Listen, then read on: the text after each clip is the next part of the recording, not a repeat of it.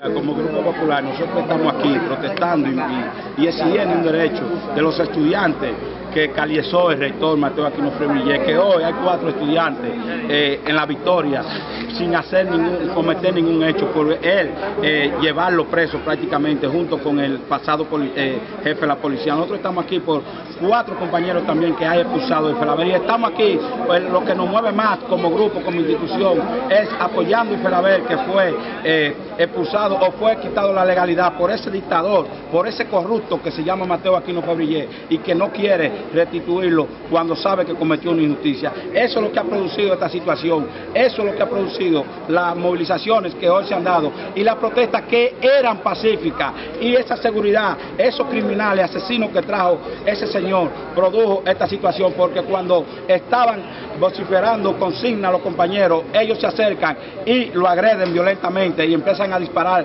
eh, tiros para arriba y después a lanzarle bombas. Entonces hay una reacción en, cuanto a esa acción que ellos han tomado y por eso tuve la situación que se da. Han hecho de trozo, ahora quieren adjudicárselo a este movimiento eh, serio y eh, pacífico que se estaba dando para en quererlo empañar. No nos van a chantajear, no nos van a amedrentar y hay una decisión de llegar a donde hay que llegar si no se resuelve el problema de Pelabé y los compañeros expulsados. ¿Hay un herido en la movilización?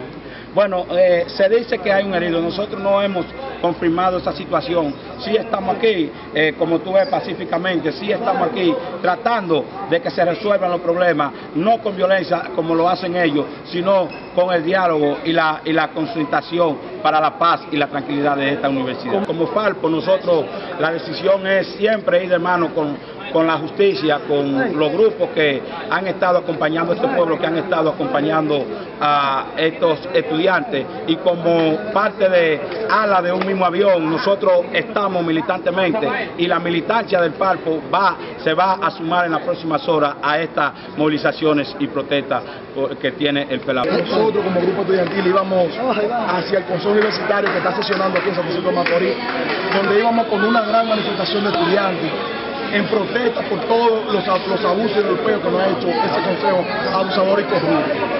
En el momento que llegamos, un seguridad de la capital y un seguridad de aquí llamado Miguelín emprenden a cachetar a un compañero y entonces comienza el porchelero.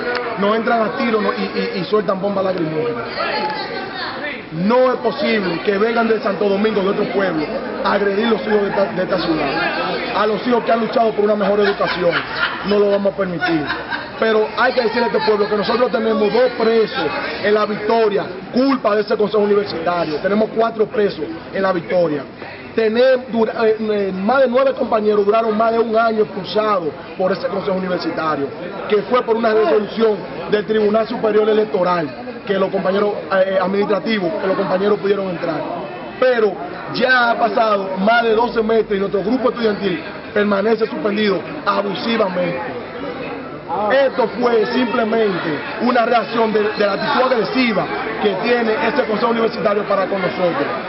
Íbamos a iniciar la protesta el día primero, pero este es el inicio, hoy es el inicio. Es el preámbulo de lo que va a pasar en toda la sede de la, de la, de la UAS a nivel del país entero. Donde quiera que huela a corrupción, a Febrillé, a Emma Polanco, el FELABEL lo va a estar enfrentando. Así va a pasar en Santiago, en Higüey, en Nagua, en la sede, en todos lados donde hay una UAS, donde esos bandidos vayan, la misma situación se presentará por su actitud de corrupto y de traición a la patria. Íbamos a una manifestación y en el medio de la manifestación, un seguridad de la universidad eh, hiere, eh, golpea a un compañero y luego flojan una bomba lacrimógena y no entran a tiro y cartuchazo. Eh, provocación, fue por una, provocación a esta manifestación que iba multitudinaria a exigir los derechos que nos citan como estudiantes. Este es el inicio. el tiempo y espacio depende de su decisión que ellos tomen en el próximo día. No Pero nosotros estamos decididos a luchar en el terreno que ellos quieran. repetimos, hoy es el inicio que de lo que iba a ser el día primero, hoy será el inicio, porque ellos lo han decidido así con su provocación y su violencia.